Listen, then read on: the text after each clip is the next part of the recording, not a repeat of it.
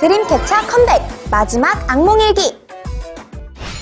드림캐쳐가 새로운 악몽을 풀어내며 일곱 악몽의 귀환을 알렸습니다. 네 번째 미니 앨범 The End of Nightmare 역시 데뷔 때부터 함께해온 리즈와 올라운더가 프로듀싱을 맡아 드림캐쳐만의 색깔을 잘 녹여냈다고 하는데요. 피리와 휘파람 소리가 반복되는 멜로디 라인이 인상적인 타이틀곡 피리로 그간 써내려온 악몽 콘셉트를 마무리 짓게 된 드림캐쳐.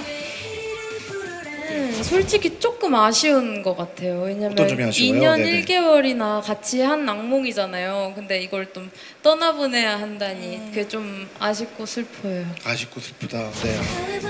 악몽 이야기와 헤어지는 게 아쉽지만 벌써 다음 앨범까지 기다려지네요.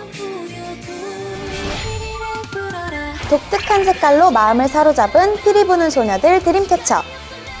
드림캐쳐는 컴백 활동 이후 3월 20일부터 인도네시아 자카르타, 싱가폴, 필리핀 마닐라, 그리고 국내와 일본을 순회하는 아시아 투어를 개최하고 해외 팬들을 가까이서 만날 예정입니다.